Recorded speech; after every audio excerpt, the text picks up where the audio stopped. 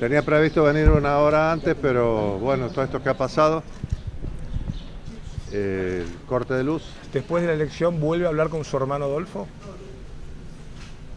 Mira, la, la- esta discusión eh, eh, no es una discusión entre hermanos.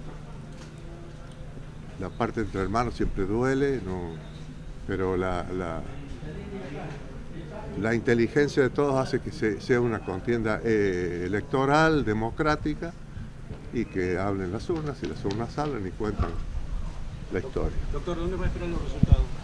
Eh, como siempre, estoy en la terraza del portazuelo, sin luz, sin...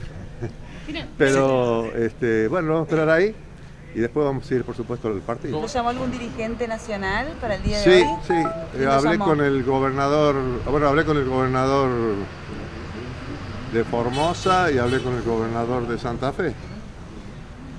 Este, en los dos casos, eh, bueno, la solución a, a- porque estas son las dos provincias que tienen elecciones. ¿Qué le puede decir a esa gente que, eh, según mi humilde entender, eh, es mucha aquí que tiene miedo de perder su, su lugar de trabajo sobre todo?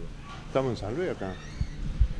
Acá nadie tiene miedo de eso, ti- tiene miedo de lo que la- las políticas nacionales acá. Estamos tranquilos en el sentido y conteniendo a la gente,